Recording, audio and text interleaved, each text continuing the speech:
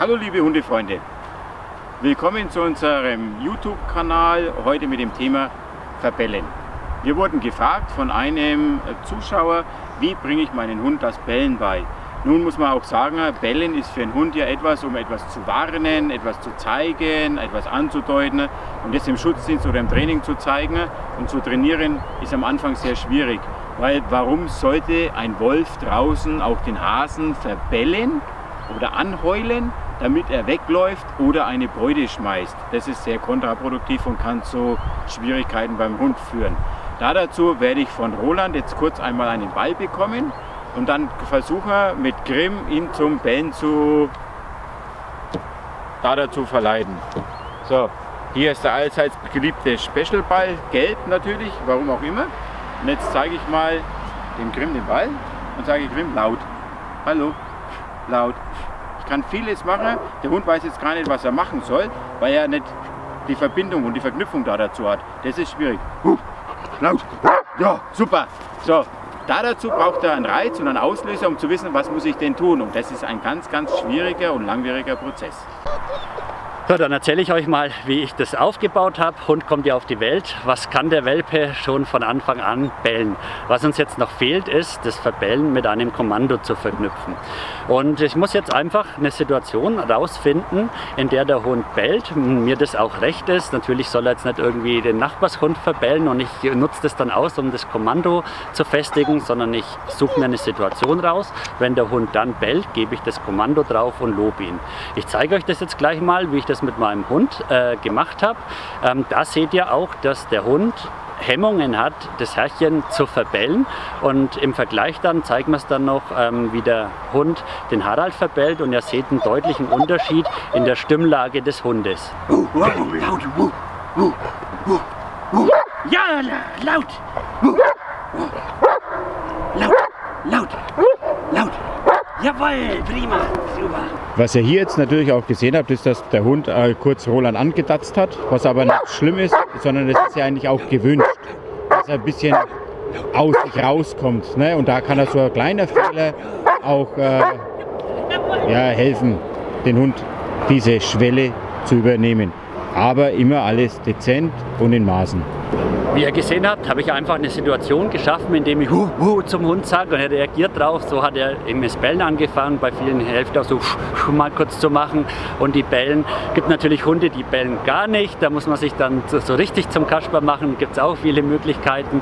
Aber das Wichtige für uns ist immer, dass hier kein Druck ist, keine Aggression. Ihr habt ja gesehen, hier, ich habe nicht mal eine Leine eingesetzt, das geht alles äh, ganz locker zu.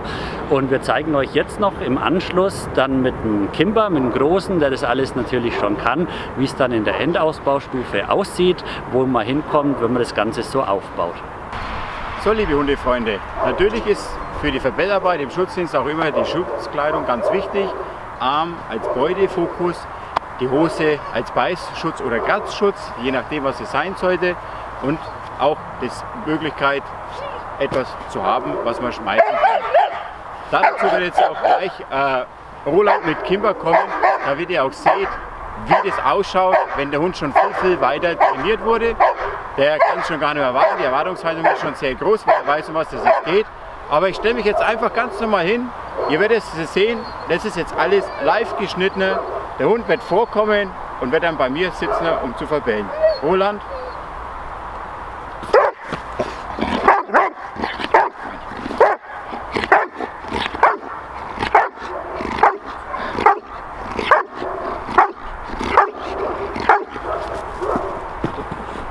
So, wie ihr gesehen habt, der Hund war sehr motiviert. Er ist vorne rangesprungen, er ist nicht richtig reingesprungen oder hat gebissen. Er wusste, er muss sich vorne hinsetzen, muss verbellen, um dann die Beute zu bekommen. Dieses Bellen ist dann nichts anderes wie ein Fordern der Beute. Und noch wichtig für die, die jetzt dem Schutzdienst kritisch noch gegenüberstehen, hat man auch wieder hier schön gesehen, sieht ja optisch so aus, als ob der Hund den Harald verbellt, er ist böse auf den Harald, aggressiv, aber letztendlich ist es nur Schauspielerei. Harald wirft das Beißkissen und ihr seht dann, der Fokus vom Hund geht direkt auf die Beute und nicht auf die Person. Also das ist noch ganz wichtig zu wissen. Harald lebt, ohne Schutzarm dran, Hund ist zufrieden mit dem Beißkissen, rennt über den Hundeplatz. Ja, Das ist unser oberstes Ziel, immer dem Hund die Möglichkeit äh, zu geben, das als positive Erfahrung zu sehen. Und wenn ich ein bisschen weiter runter gehe oder er schmeißt es mir her, dann kann ich das alles auch im weiteren Unterricht machen, weil der Hund würde immer die Beute nehmen. Wenn ich jetzt daher gehe und halte das einfach so, ohne dass ich irgendetwas sage und der Hund würde den, den nehmen, würde er einfach nur auf die Beute gehen. Um das noch einmal erklärender machen, zu einfacher, wie wir damit anfangen, wird Roland den kleinen Grimm holen und euch demonstrieren, wie wir das dann aufbauen. Um euch das noch einmal begreiflich zu machen, dass wir hier mit zwei unterschiedlichen äh, Beutemitteln arbeiten, habe ich hier einmal diesen Junghundarm genommen, der ein bisschen mehr Fläche hat, den ich schön tragen kann. Links und da dazu habe ich auch noch einen Ball. Was will ich jetzt mit dem Ball bewirken? Ich werde dem Hund zeigen, er soll sich hier herstellen zum Verbellen und dann als Bestätigung den Ball zu bekommen. Das heißt, fordere mich auf, mit dir zu spielen, indem dass ich verbelle. Dazu kommt jetzt Roland mit dem Grimm rein. Linke Seite ist über die Seite, wo der Hund ist. Ne? So. Der Hund bellt. Nicht gut. Sehr schön. Tschu. Ball.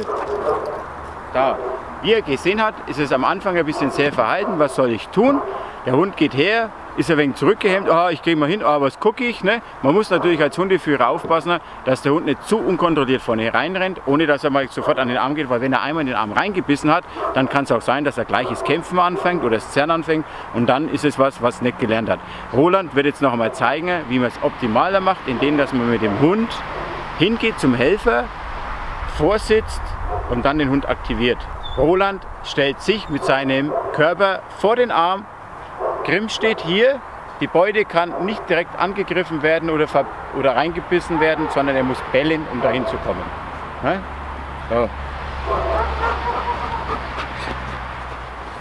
Sehr schön. Ne? Hund hat sich die Beute gleich geholt, das ist der Fokus. Wir machen jetzt den Part 3.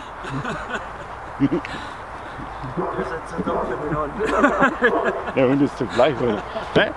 So, also Roland wird den Hund jetzt richtig herführen. Da dazu verdecke ich den Ball mit dem Arm und zeige ihm die Silhouette, wie es eigentlich im Schutzdienst sein sollte.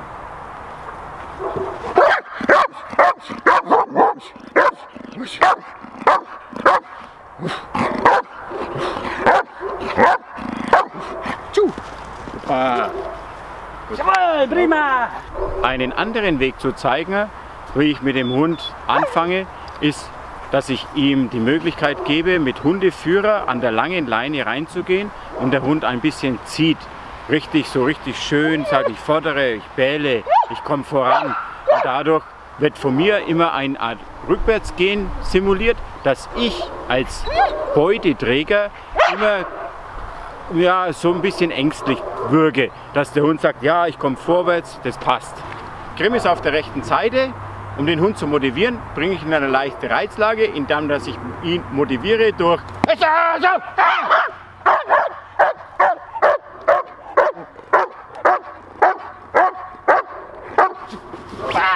und somit hat der Hund auch immer das Gefühl, er ist Herr der Sache, obwohl ihm eigentlich ein bisschen vorgegaukelt wird, wenn du genug bellst, dann bekommst du auch den Arm.